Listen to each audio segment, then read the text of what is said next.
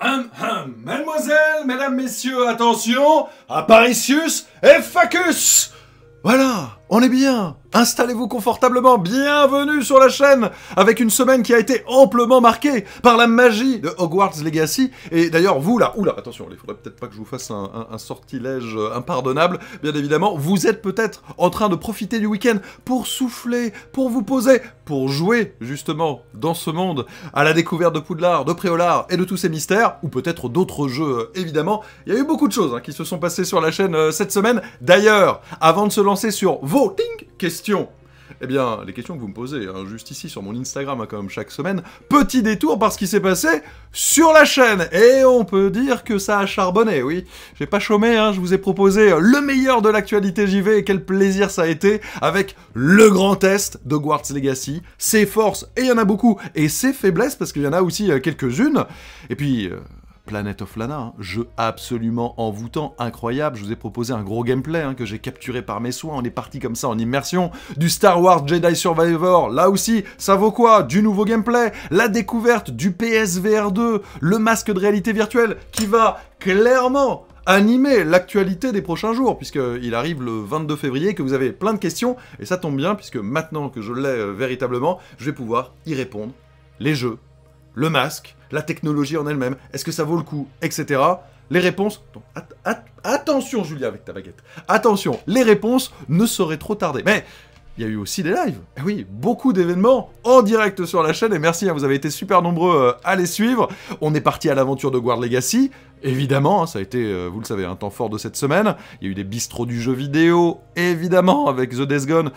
The Day Before, ouais, mais qui est un peu gone, justement, qui est en train de partir euh, littéralement en vrille. Et puis, il y a eu le gros Nintendo Direct tant attendu avec nouveau trailer de Zelda Tears of the Kingdom, entre autres, hein, bien évidemment, ça n'a pas été euh, la seule chose. Et puis je vous ai proposé des petits shorts aussi, voilà, les petits shorts qui font plaisir, que vous appréciez, et de plus en plus, donc euh, c'est plutôt cool, ça me permet de, vous faire profiter un petit peu des coulisses de la chaîne, les baguettes de sorcier, le PSVR 2 dès qu'il arrive, et puis euh, d'autres petites choses avec des news aussi en format flash que je vous propose de temps en temps. Bref, ça a été une bien bonne semaine.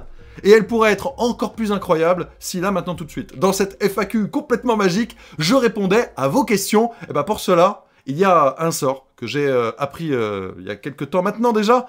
Il s'agit du FAQus Lectorus. Et ben voilà, ça fonctionne, c'est incroyable, des effets spéciaux dignes d'Hollywood, plus Bollywood, plus... bon bref, on y va, c'est parti, et en l'occurrence, on commence avec Fifis42. Bonjour Nintendo peut-il refaire des consoles uniquement portables Ou bien des consoles uniquement de salon? Merci. Alors, c'est une question que je revois euh, passer euh, en réalité assez souvent. Euh, c'est vrai que Nintendo, pendant des décennies, nous a habitués à avoir d'un côté des consoles portables, alors là c'est la Game Boy, d'un côté des consoles de salon, Super Nintendo, la NES, la Nintendo 64, la GameCube, etc. Et qu'aujourd'hui, depuis quelques temps maintenant, eh bien en fait, il n'y a plus qu'une seule machine, une console hybride, à la fois portable, à la fois de salon. Et en réalité, est-ce que demain, Nintendo pourrait donc refaire cette séparation? Bah, à mon sens, ça n'aurait justement pas beaucoup de sens. Pourquoi? Bah, Parce que la Nintendo Switch, elle cartonne de dingue. Donc elle valide le fait que ne pas séparer son audience, ne pas séparer aussi les développements. C'est-à-dire que là, toutes les équipes peuvent se concentrer sur un jeu. Et non pas un Zelda portable, un Zelda console de salon, un Mario portable, un Mario console de salon. Non, là, tous les efforts sont concentrés sur une seule plateforme. Et finalement, bah, les grands gagnants de tout ça, c'est nous, les joueurs. Mais aussi Nintendo, qui voit sa console, la Nintendo Switch, en train de réaliser un véritable carton phénoménal qui pourrait bien devenir la console la plus vendue de l'histoire. Donc difficile derrière de dire euh, ouais, bof, euh, etc. Même si, même si, il faut le reconnaître, la Switch, en étant une console hybride, bah, quelque part elle devrait être comparée à l'addition des ventes des consoles Nintendo portables et de salon d'une même génération, pour voir un petit peu justement eh bien, comment elles se comportent par rapport au volume généraux généré. Enfin, en tout cas, ce qui est certain, c'est que Nintendo euh, a validé vraiment euh, ce côté euh, hybride. avoir une console 100% de salon permettrait peut-être qu'elle soit un peu plus puissante, parce que le côté nomade, forcément, il faut gérer l'autonomie, si elle est trop puissante, ça va aspirer encore plus d'autonomie, etc. Mais Nintendo n'est pas du tout dans cette course à la puissance. Et Nintendo prouve qu'avec ses jeux, qui sont pas technologiquement les plus incroyables de tous les temps, je veux dire, même, même Zelda Tears of the Kingdom, que franchement j'attends comme un fou, on va reparler d'ailleurs dans quelques instants, la direction artistique, je la trouve remarquable, mais technologiquement parlant, bah oui, c'est sûr que tu regardes euh, Hogwarts Legacy, tu regardes Horizon Forbidden West, euh, pour parler d'autres open world, techniquement, euh, les textures, etc., enterrent Zelda. Bah oui. Mais est-ce bien le plus important? Ou est-ce que c'est le plaisir de jeu? Et donc Nintendo, là, là-dessus, n'a pas de, compte à rendre, hein, très clairement. Au contraire, ils sont plutôt à l'avant-front, c'est eux qui donnent le ton. Donc, est-ce que Nintendo peut refaire cette séparation? Il faut jamais dire jamais. Peut-être qu'à l'avenir, un coup de baguette magique, ils vont faire Ah bah tiens, voilà une console euh, que de salon, que de machin. J'ai envie de vous dire que la Nintendo Switch Lite est une console uniquement portable. Parce qu'elle a pas ce côté où tu peux la switcher, justement. Ce qui d'ailleurs est un peu particulier pour une console qui s'appelle une Switch. Mais bon. Donc faut jamais dire jamais, mais moi je trouve qu'ils ont trouvé un segment, les consoles hybrides, qu'ils sont en plus les seuls à avoir. Nintendo fait des consoles hybrides, mais pas PlayStation pas Xbox, et donc ils sont dans ce qu'on appelle leur océan bleu, dans leur bulle à eux, et quelque part ça leur réussit euh, admirablement bien. Donc euh, franchement, pourquoi changer? Mais vous me direz dans les commentaires ce que vous en pensez à suivre pour la nouvelle console de Nintendo qui, en réalité, à un moment quand même, ne va pas finir par tarder à arriver. En tout cas, on sent que la Switch euh, commence à vraiment tirer un peu la languette. Allez, nouvelle question. Celle de Mister Rick. J'aime bien tes nouvelles musiques de background sur le bistrot. Bonne continuation. bah, Mister Rick, merci. Et d'ailleurs, vous avez été plusieurs à me le faire remarquer. Effectivement, elle change plus, elle varie plus. J'ai renouvelé un petit peu le pool des musiques euh, que je vous propose, histoire d'ambiancer un petit peu euh, les différentes émissions. Eh bien, ravi que cela vous plaise. C'est très cool. Et j'aime bien que vous soyez attentifs à ce genre de petits détails. Max59 Hats, salut Julien, des rumeurs sur l'annonce imminente d'un gros DLC d'Elden Ring Et alors là, là, on va faire un, joli focus parce que oui, j'ai des choses à vous dire. Très clairement, je suis comme vous, j'attends, j'attends l'hypothèse d'un DLC d'Elden Ring avec une ferveur incroyable. Tant ce jeu m'a euh, ouvert les portes hein, des univers de From Software, tant ce jeu m'a retourné la tête, véritablement. Alors, on va se dire les choses. On attendait, collégialement je crois, l'annonce d'un DLC lors des Game Awards. Game Awards pendant lequel Elden Ring a été sacré jeu de l'année. Et, et, en fait, euh, bah, quelques jours avant, on avait eu droit au Colisée. Alors, c'est sympa, etc. On peut faire euh, du PVP et tout ça. Bon, ok, très bien, mais c'est pas le méga gros DLC qu'on espérait. Eh bien, vous aurez peut-être noté que, en réalité, c'est bientôt l'anniversaire d'Elden Ring. Il était sorti le 25 février 2022. Nous sommes en février 2023. Et, et doucement, mais sûrement, il est en train de se passer des choses. Ça y est, des choses, au début, pas forcément super concrètes, et vous allez voir, on va, on va monter en gamme.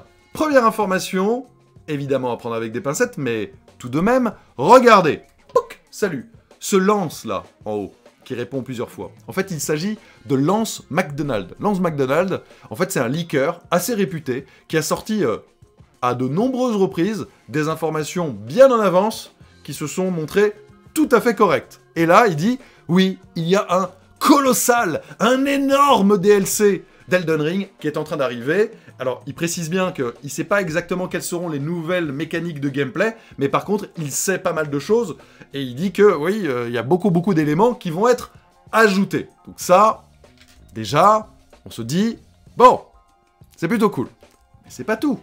Parce que, là, il y a euh, quelques temps, et quand je dis quelques temps, c'est quelques heures, bah, en fait, a été détecté sur Steam des petits changements dans la base de données, etc. Euh, en l'occurrence, 4 packs autour d'Elden Ring qui pointent, quand on va voir, sur des liens qui sont cassés. Alors, il faut savoir une chose, c'est que par le passé, ça s'est déjà produit. Que Elden Ring mette à jour un petit peu certains éléments sur, sur Steam de cette même manière. Et quand est-ce que ça s'est produit?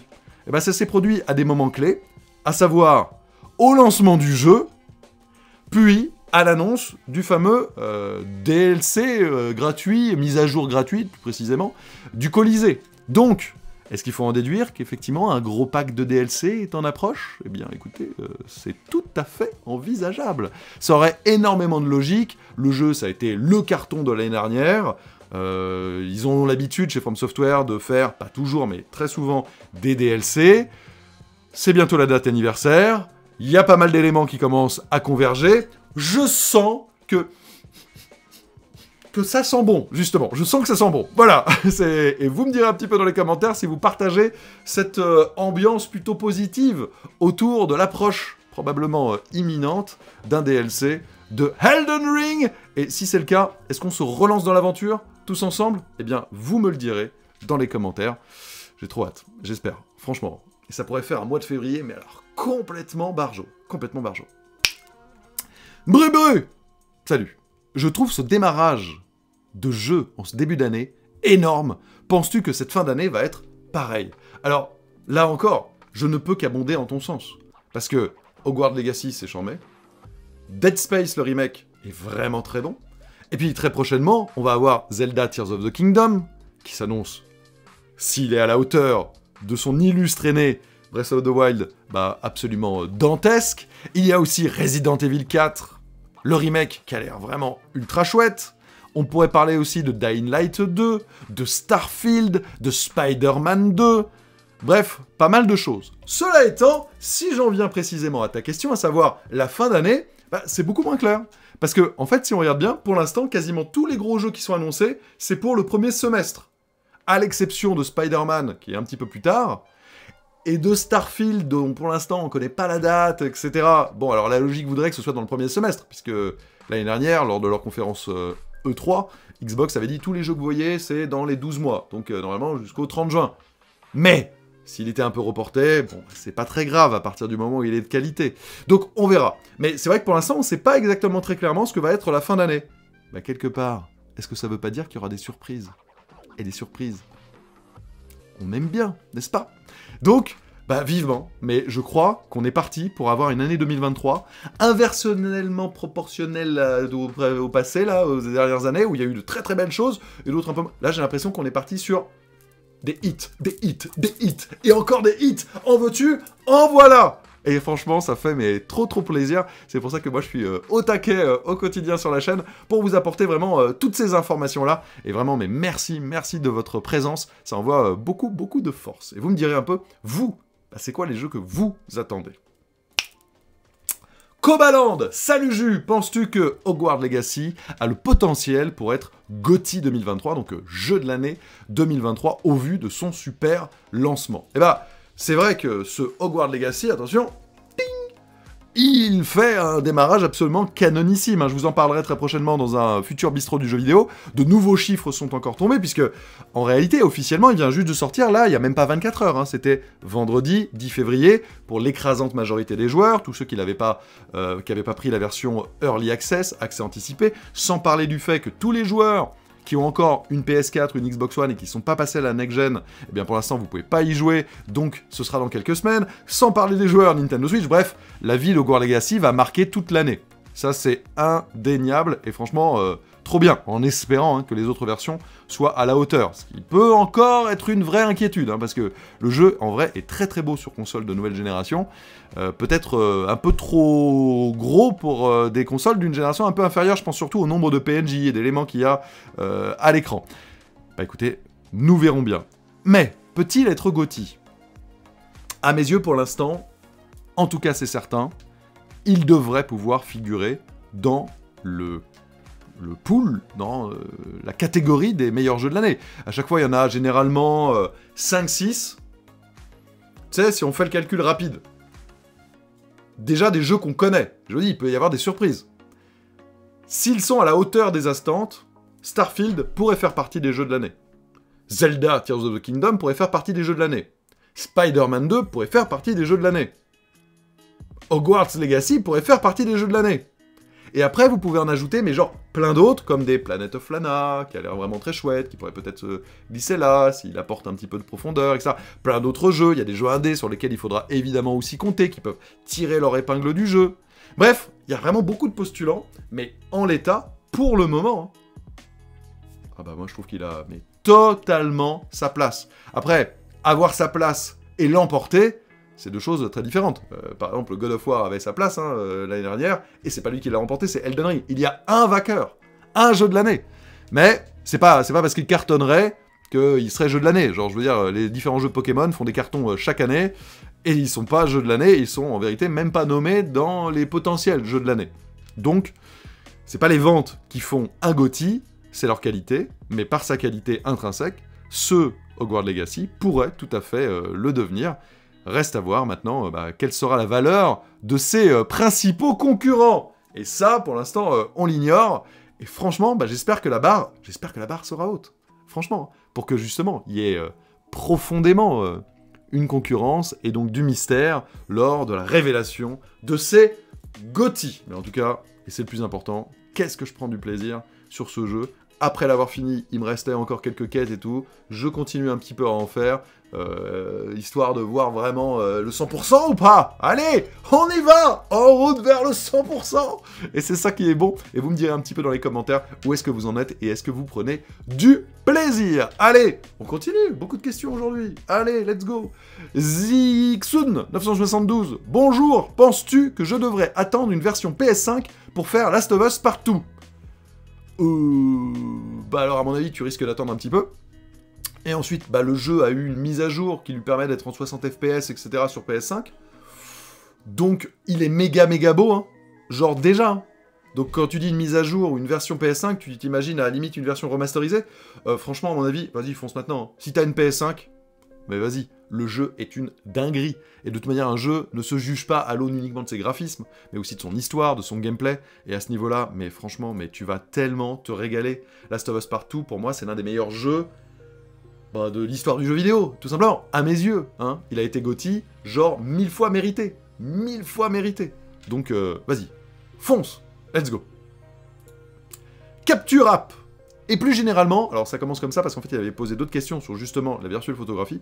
Que penses-tu de cet engouement pour la virtuelle photographie? Eh bien, je trouve ça génial.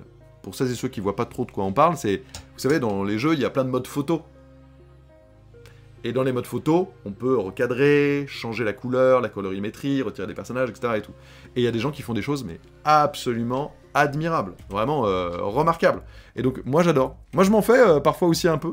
Euh, j'ai malheureusement, par manque de temps, je peux pas vous faire autant que je le pensais, mais regardez, avec ce genre de décor, par exemple, d'environnement, on a envie de faire des photos à l'intérieur.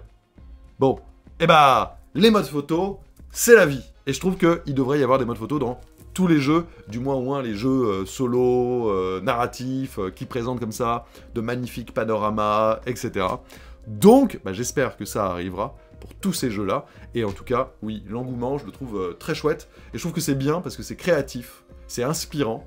Et franchement, bah, si vous avez fait euh, des petites choses comme ça, n'hésitez pas sur mon Twitter euh, de temps en temps, euh, qui se trouve juste ici, à m'envoyer certaines de vos photos. Comme ça, je pourrais les montrer en vous citant évidemment. Voilà en tout cas ce que je pouvais vous dire, les amis, dans cette FAQ apparitus. Dans cette FAQ, bien évidemment. Histoire de pouvoir bien se poser pour le week-end même si c'est très très très loin d'être fini, croyez-moi. On n'a pas dit notre dernier mot, il y a plein de choses qui arrivent sur la chaîne, même ce week-end, bien sûr Bah oui, je suis là, fidèle au poste, évidemment. En attendant, à vous de jouer alors que la caméra est en train de faire des trucs complètement dingues et ça vous montre que il y a toujours des problèmes techniques Bien évidemment Waouh Oh Eh C'était un sort un sort impardonnable, mais j'ai réussi à le parer euh, au dernier moment. Merci d'être resté avec moi. Je vais devoir euh, changer de caméra, je sens, voilà. Bref, si ça vous a intéressé, si ça vous a plu, n'hésitez pas à mettre le petit pouce vers le haut, bien évidemment, à vous abonner. Et puis, il y a plein d'émissions qui vous attendent dans le catalogue, alors n'hésitez pas à aller les regarder. C'est le week-end, faites-vous plaisir. À très bientôt et vive notre passion du jeu vidéo